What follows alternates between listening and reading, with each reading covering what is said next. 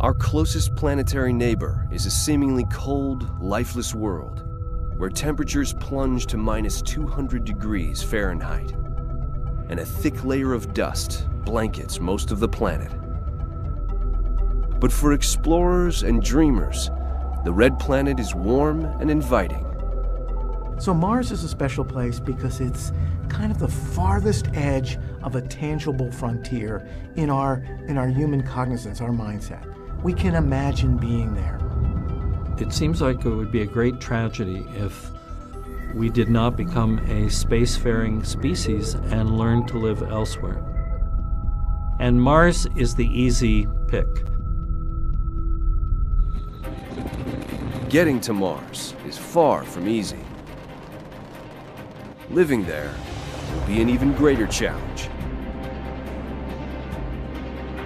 But scientists and a growing number of private citizens say the effort is not only worth it, they predict it could happen within the next 20 years. Why colonize Mars, you ask me? I would say, why not?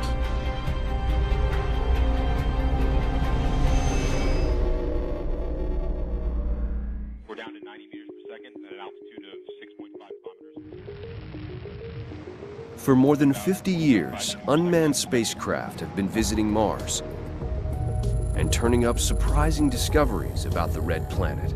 Mars offers many of the ingredients that we need to live. Mars has giant polar caps made of primarily frozen water. We think perhaps 30 40% of the planet is what could be ice rich soil or buried ice sheets.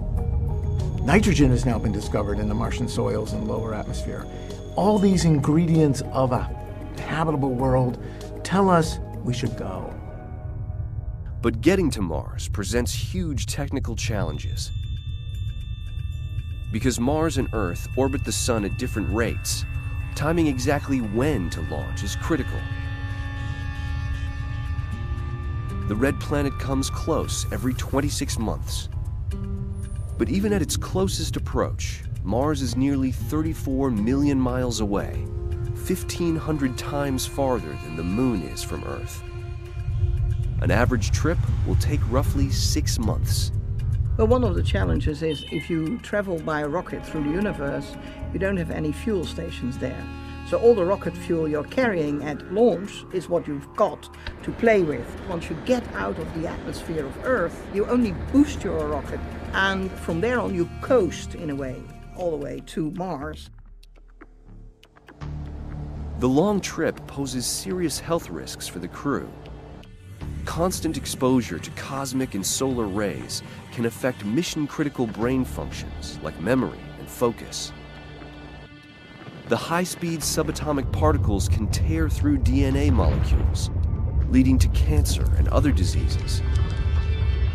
And prolonged weightlessness can reduce bone mass by 1 to 2% every month. The one way trip alone could cut muscle mass and force in half, giving a 40 year old astronaut the strength of an 80 year old by the time they reach Mars.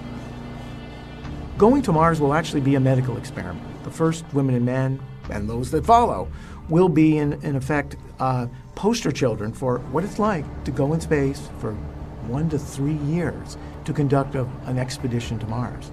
So Mars will stretch us as people going to live in a very alien place in space.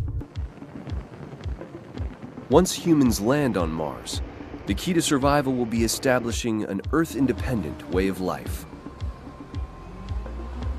Early colonists will have limited supplies from home, so learning to live off the land is critical. But don't expect the early colonists to live outdoors. The atmosphere has virtually no oxygen and no air pressure, with constant radiation streaming from space. An ever present superfine red dust has the capacity to short out electronics and cause major health problems. It's difficult to think how we will live on Mars because we're still kind of in the equivalent of kindergarten getting to know the place. So I do think we will find and learn from Mars where we could live better, safer, smarter, even more cost effectively in terms of the resources available. For the very first decades, I would imagine that we live in lava tubes. Those are caves that have been emptied out because the lava inside of these tubes was traveling at a greater speed than the lava around it, and it would solidify, and you would end up with rather large caves. These would be natural places to go to be to put rock between you and space radiation and Mars dust. And so, in effect, going underground may be one's way to learn to live and work on Mars as people. One of the greatest challenges will be accessing water. One option would be beaming microwaves at the frozen soil. The microwaves heat up the rock, which then melts the ice around it.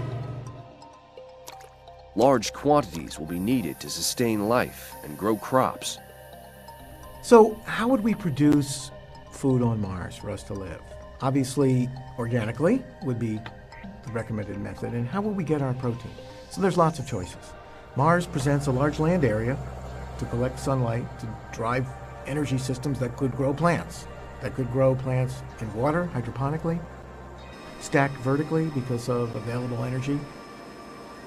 There aren't cloudy days on Mars like we have on Earth, so it's a very efficient solar farming opportunity.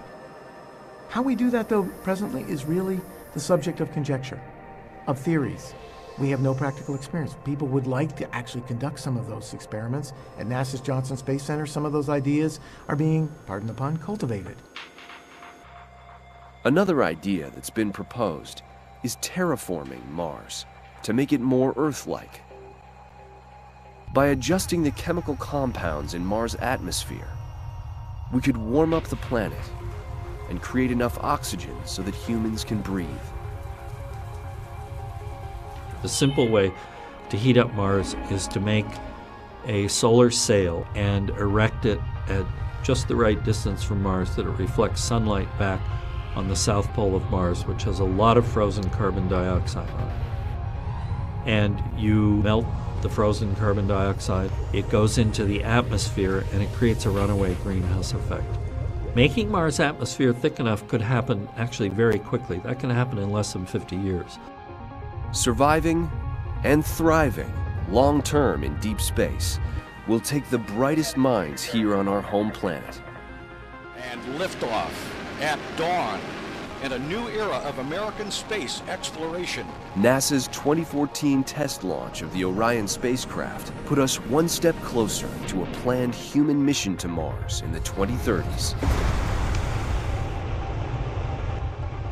And private ventures are also rushing to make history, testing new technologies and generating excitement. I predict in the next tens of years a better private public partnership for exploring space, both as a first wave, where the profit margin will be low, and as a stepping stone to the next wave, where space can be used for the benefit of people, both to live better and to make money, is possible. We think we understand this. Single planet species probably won't survive. So Mars offers a haven, lots of obstacles, but in terms of human destiny, destiny of people on this planet today, going there to live is just so attractive.